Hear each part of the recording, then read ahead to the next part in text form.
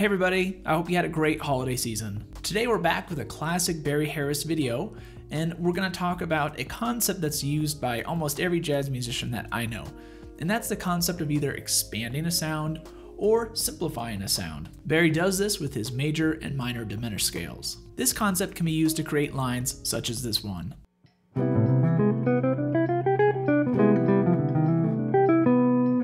Right, let's start with simplifying sounds. Okay, so the first overarching idea of everything in this lesson is pretty much that one sound can be pretty much played over any type of sound. Of course, you will need to resolve any line that you're playing uh, tastefully, but theoretically, if you're playing a 2 5 1 chord progression, you can play any one of these sounds in this progression over each other and it's going to work. For example, we could play a D minor 7 arpeggio and play it over a G7 or a C major 7, since this is a 2 5 1 in the key of C.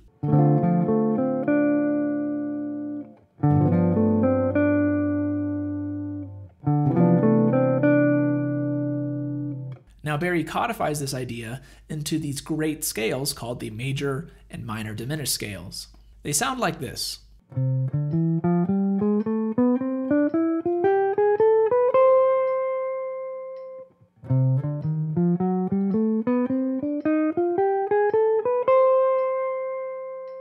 Can see, these are eight note scales, and they pretty much add the sharp 5 scale degree into either our major scale or a minor scale. Here's why this is important. These scales contain both the 5 chord and the 1 chord within them at the same time. Check it out. If you play the 1 chord of this scale, and by the way, the 1 chord of this scale is not a major 7 chord, it's going to be a major 6 chord within the sound.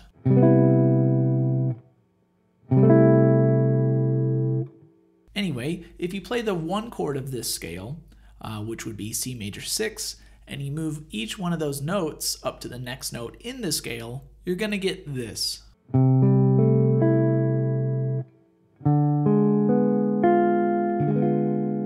You get a diminished chord. Now, diminished chords are the same sound as a dominant 7 flat 9 chord, and you can see this on the guitar by playing just our standard G7 flat 9 voicing. So if you repeat this pattern, uh, moving one note up to the next note, and then it turns into a chord, you're going to notice that you get the one chord, or an inversion of the one chord, and just an inversion of the diminished chord.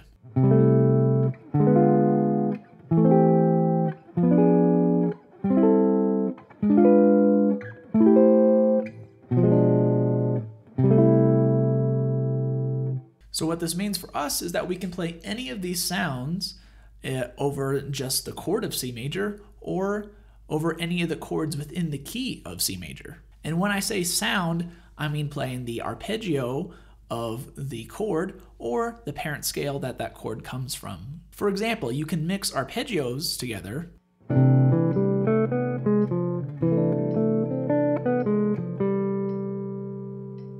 Or you can play them as scales, mixing the diminished scale and the major sixth diminished scale together.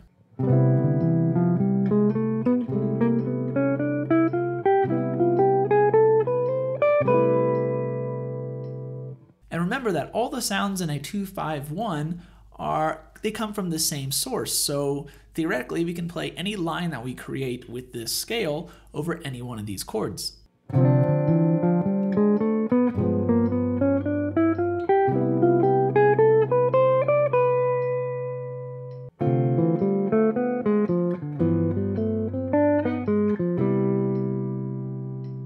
This also works over minor 251 progressions. You just need to use the minor 6 diminished scale to create your lines.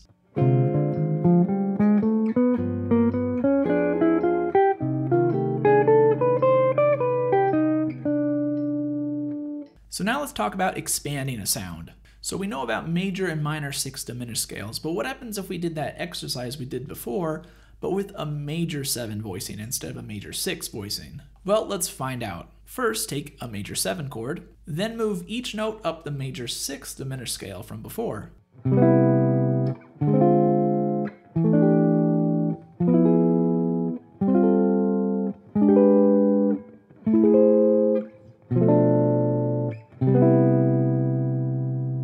So now instead of simplifying everything to two different types of sounds, we're expanding this one sound into seven different types of sounds. Here are some examples.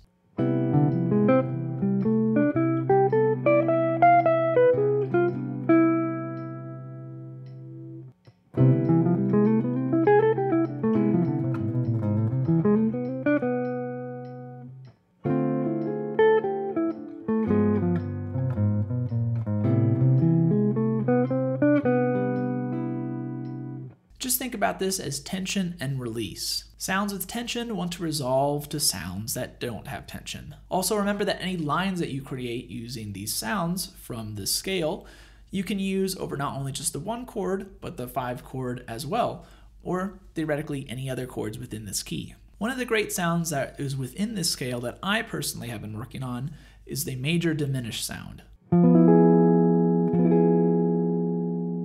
This just works like a normal diminished chord, but it's a little bit crunchier. So you can play this over all the same spots you would normally play a diminished chord in Barry's scale. Here's a line using this sound.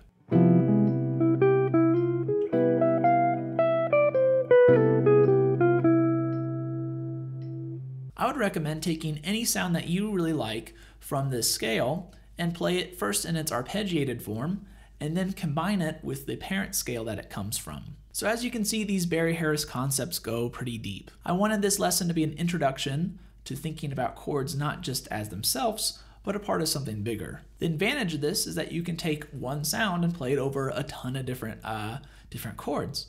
And to demonstrate this, I'm going to play one chorus over the great standard tune-up, and I'm going to use a bunch of sounds from the major six diminished scale, and I'm going to apply it to all the great two fives in this tune.